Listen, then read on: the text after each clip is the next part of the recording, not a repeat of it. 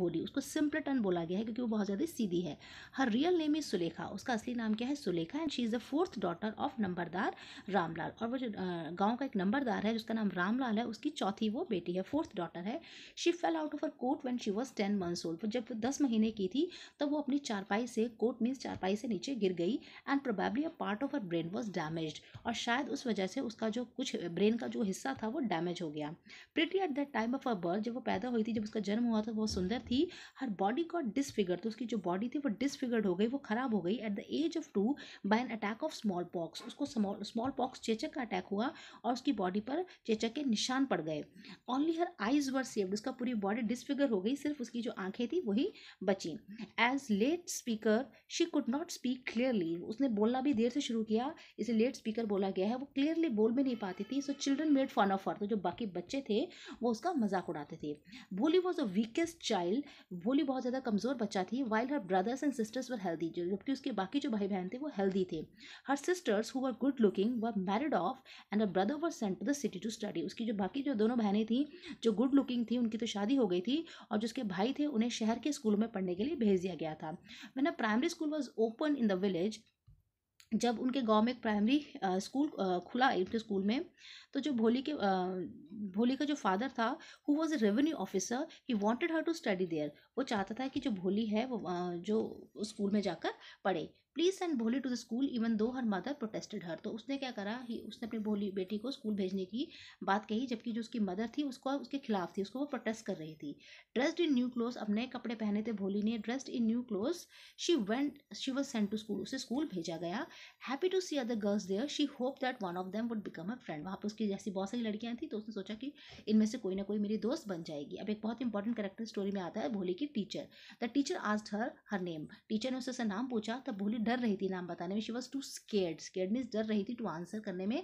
The teacher smiling encourage teacher ने मुस्कुराते हुए उसे इनकरेज करा, उसको मोटिवेट करा, उसको, उसका उत्साह बढ़ाया कि वो कुछ बोले। शी ऑल्सो आज Bholi to come to school daily और उसने मोटिवेट किया भोली को कि तुम रोज स्कूल आया करो।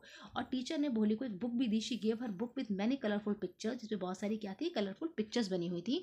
बहुत रंगीन तस्वीरें बनी हुई थी। She he she also uh, she also told her that she would soon be able to read it and everyone would treat her with respect. उसकी टीचर ने ये भी बताया कि बहुत ही जल्द तुम इस किताब को पढ़ पाओगी और हर कोई तुम्हें बड़ी ही रिस्पेक्ट के साथ ट्रीट करेगा। और भोली वॉज़ फिल्ड विद होप भोली एक नई उम्मीद से भर गई।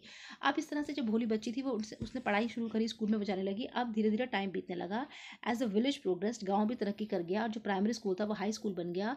अब भोली बड़ी हो गई थी उसकी शादी की उम्र हो गई थी। She was of marriageable age उसके फादर ने उसका मैच फिक्स हर मैच उसकी शादी पक्की कर दी। इसके साथ? एक आदमी जिसका नाम बिशंबर था। एक स्टोरी का नेक्स्ट करेक्टर बिशंबर कौन था?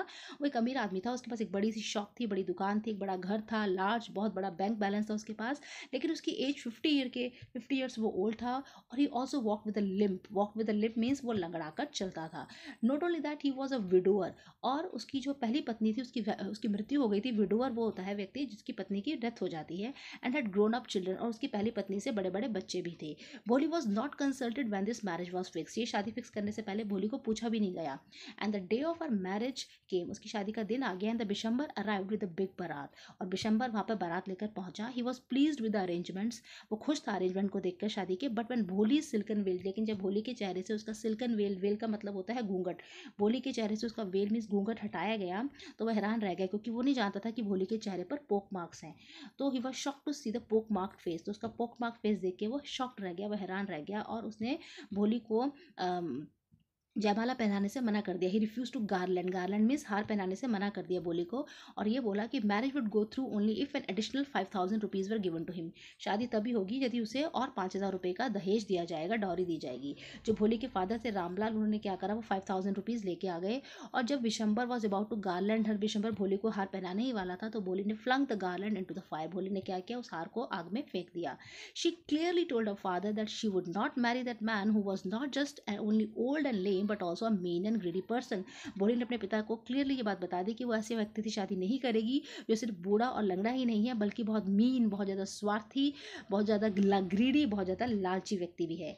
She took a vow to never get married तो उसने कसम खाई वाओ का मतलब होता है कसम। She took a vow never to get married कि मैं कभी शादी नहीं करूँगी। She decided that she would become a teacher and serve her parents in their old age उसने डिसाइड करा कि वो उसी स्कूल में टीचर बनेगी जिसमें वो पढ़ती थी और